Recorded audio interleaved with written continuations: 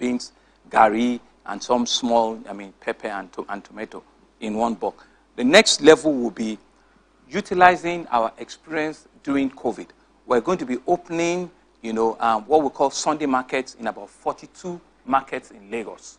Sunday market. What you will see in that in, in those markets, you know, is the same sort of like, you know, stable, you know, food item.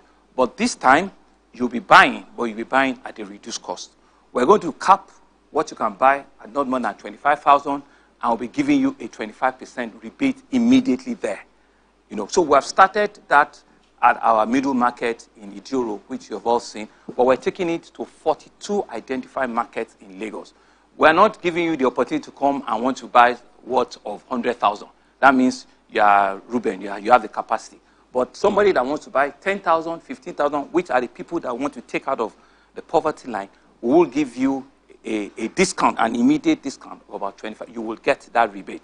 And you are not just buying one item, you are buying, you know, a, a combination of, you know, staples, you know, and you will get a relief immediately. So that Sunday market will happen for the next five, four, five Sundays, and we'll continue to review. So we will make all the logistics available, all the food items will be at this. We're working with the local government, with the leaders of the market. We've identified and we'll publish, you know, all these things. That's the second level.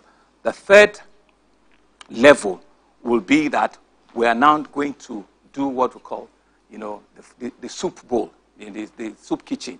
We did it also during COVID. We want to identify uh, mama put, you know, um, um, um, um, um, caterers that are in, in your do, and we want to be able to feed between 1,000 and 1,500 in every local government per day, you know, at the first instance for the next, you know, 30 to 60 days. So let's watch out the logistics. You know, we have identified, you know, the, the, the, the caterers already, you know, uh, funds will be sent to them and they will have vouchers to show that just people just walk in, you know, and just give them something, you know, to eat, you know, one a day and let's just continue, you know, on that. The, the, the whole idea around this is that one of the verticals will reach, will reach you in one form or the other. So that's regarding food. No, I've not finished.